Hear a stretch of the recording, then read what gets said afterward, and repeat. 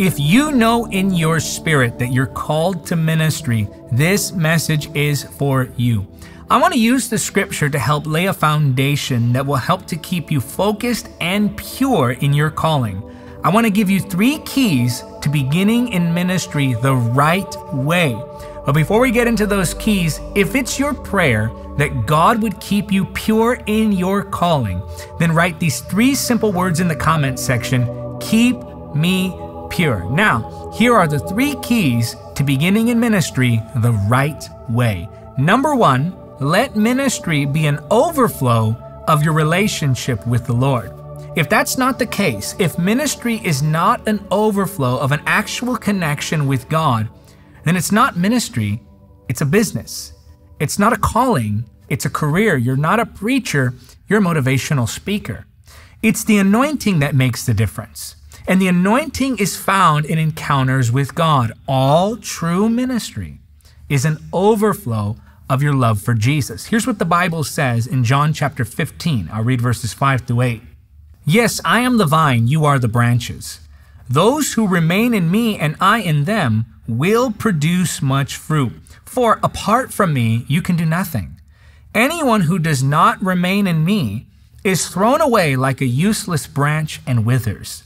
Such branches are gathered into a pile to be burned. But if you remain in me and my words remain in you, you may ask for anything you want, and it will be granted. When you produce much fruit, you are my true disciples. This brings great glory to my Father. Without Christ, we can do nothing. You must, at the very beginning, make a decision, make a commitment to guarding your devotion. Guard your prayer life. Guard your holiness. Guard your devotion to the Word of God and knowing the Word of God, and don't sacrifice that for anything. Ministry can be mentally, emotionally, and physically draining. I know it may not seem like it because ministry usually begins very simple. You share what the Lord has been sharing with you.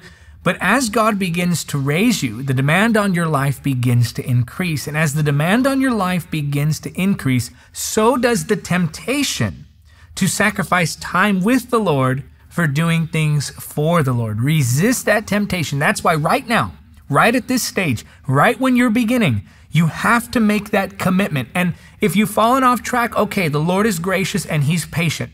Recommit to it. But make that commitment in your mind, in your heart, and say within yourself, I'm going to do this the right way. I'm not just going to allow this to become a business. I'm not just going to allow this to become a career. I want this to remain a pure and holy calling. I want to keep my heart right while I continue to do ministry. And in order to do that, you're going to have to protect your prayer life. You're going to have to protect that devotion to the word. Do not sacrifice that for anything. He is the vine, we are the branches. Apart from Him, we can't do anything. The moment you disconnect from Him, that well begins to run dry. The moment you disconnect from Him, you begin to do things in your own strength, by your own power, according to your own thoughts and will, rather than according to His. This is why it's so important that we allow ministry to be an overflow of our relationship with the Lord. This will protect your holiness. This will protect your motives. This will protect your future. Make that commitment now that ministry will only be an overflow of what I actually have with the Lord. Number two, and this one, well, they're all important, but this one I, I especially want you to pay attention to because so few people do this. Number two, set up accountability at an early stage Colossians 3:16 says this, let the message about Christ in all its richness fill your lives. Teach and counsel each other with all the wisdom he gives. Sing psalms and hymns and spiritual songs to God with thankful hearts. Here the scripture tells us to teach and counsel each other. As iron sharpens iron, so a friend sharpens a friend. You must allow for there to be people around you who can tell you when you're wrong. Look, as you continue in ministry, you're going to find that you will pick up more and more critics the more fruitfulness that you see. Criticism is a part of ministry, but not all criticism is bad.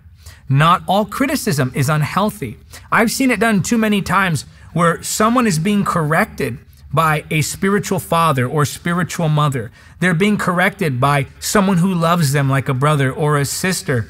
And instead of receiving the biblical correction, they'll say things like, Well, you're just jealous of my anointing, or Well, you don't have what I have with God, or You're interfering with the ministry now. And that's dangerous. Look, I understand that we can't pay attention to everyone's criticisms. If we did that, we would lose our minds and we'd never have any real focus or impact in ministry. But God does place key people around you who legitimately care about you, who have connection with you, who know you, you know them. Perhaps they were there from the beginning. And God puts these key people in our lives to help to keep us on track. You need other people. There are no lone rangers in the kingdom of God. There are no superstar Christians in the kingdom of God. It doesn't matter how popular you get, how effective you get, how fruitful you get, you're going to need other people who can get in your face and tell you when you're getting off track. In fact, you have to set up accountability now to protect you from falls in the future. Here are the three common areas that people fall in when they're in ministry that's sexual sin, financial trouble. In other words, they start stealing money from the ministry or they misuse the funds of the ministry for personal use and so forth. And number three is power. So, sex, money, and power. Those are the three primary areas in which people compromise.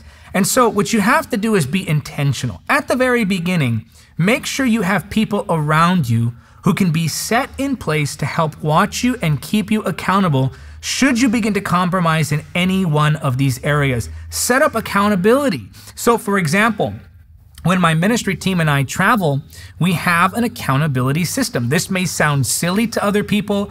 I've had people comment things like, well, aren't you all a bunch of adults? Why are you treating people like children? But we don't leave any room for compromise. What we do is we go out two by two. When we travel, it's always two by two so that no one's ever traveling alone. This does two things. Not only does it protect us from temptation, but it also protects us from accusation because these days it's not just good enough to be protected from temptation. You have to also be protected from accusation. And if you have someone who's with you all the time, they can attest to your whereabouts. They can attest to your purity when others are trying to bring accusations against you. So that's just an example. In the sexual area, we travel two by two so that nobody can make accusations and that no one is left in temptation by themselves. And that's, again, just one area. That's just the travel aspect. But I'm just giving you an example of how this would apply. Um, also, there's the finance and then there's the power temptation.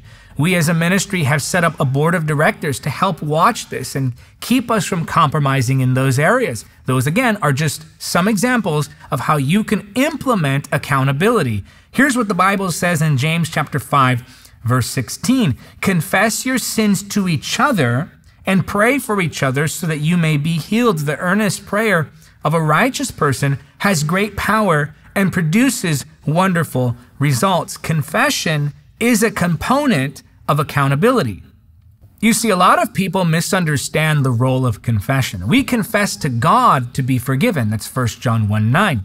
But we confess to each other to be healed, to be held accountable, to prevent compromise in that area in the future, and also to be reconciled to one another. For example, when you sin against another person and you confess that to them, it helps to bring reconciliation between you and them.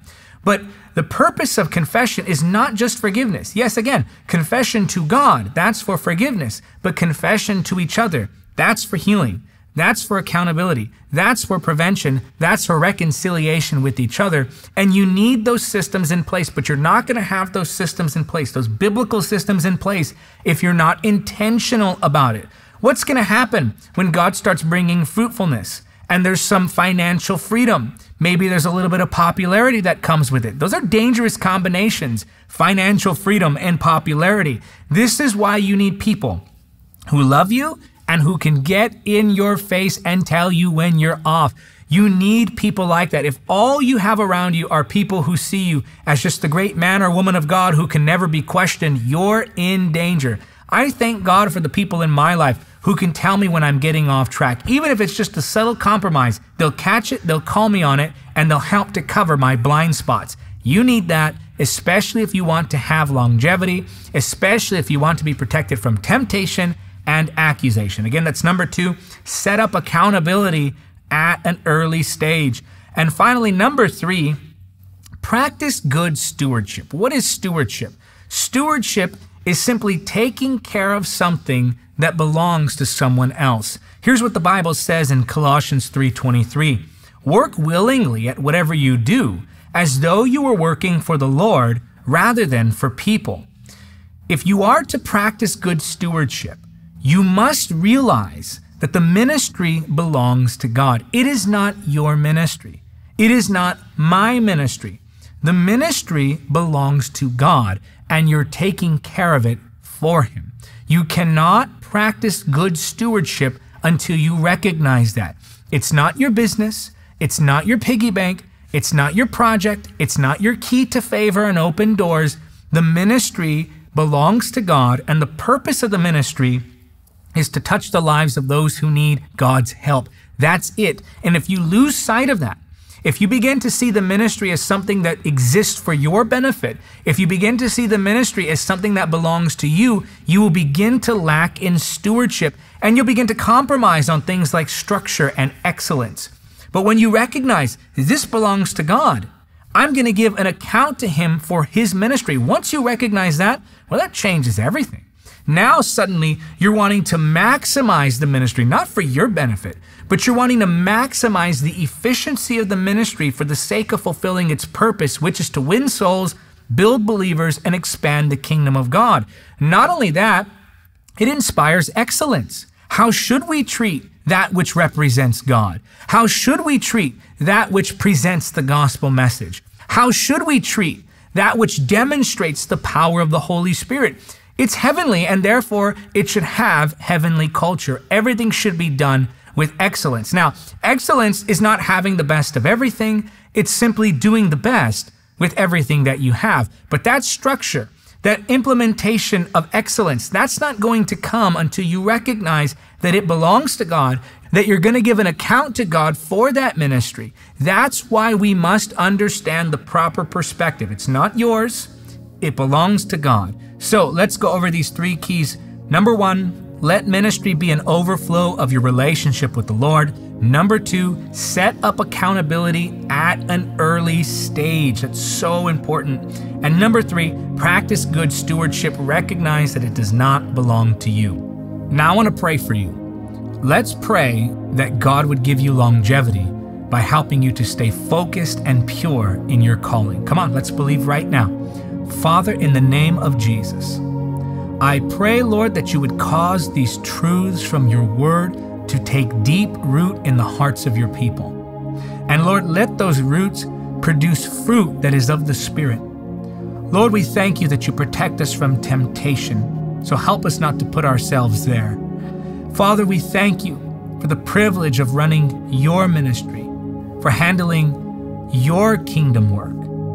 And I pray today, Lord, that you would anoint your people in a fresh way and help them, Lord, to stay focused and pure. Thank you, Lord, that you're giving us wisdom for the beginning and the establishment of ministries. We honor and we bless you. And I want you to say it because you believe it. Say amen. Now, don't click off this video just yet. If that blessed you and you think it could bless someone else, make sure to leave a like on this video. Also, don't forget to subscribe to Encounter TV for more content like this. Now, I want to ask you to help our ministry. Everything that we do, the content that we release like this, the live streams, the events that we do all around the world, all of that is donor supported, free will offerings. We don't charge for events, we don't charge for live streams or the content. It's all donor supported. We go by faith. And so I'm asking you, as someone who's benefiting from this ministry, to get involved with what God is doing through this evangelistic healing ministry. Get involved by giving a one time donation or becoming a monthly ministry supporter. You can become a monthly financial supporter of this ministry for as little as $15 a month. For more information on monthly partnership, just go to davidhernandezministries.com slash partner. Get involved today and help us to take the gospel all around the world. Now, if you enjoyed this message, but you're still not quite sure if you're ready for ministry, then make sure to watch How to Know You're Ready for Ministry 15 Revealing Signs. In that teaching, I give you 15 signs that show you if you're ready for ministry.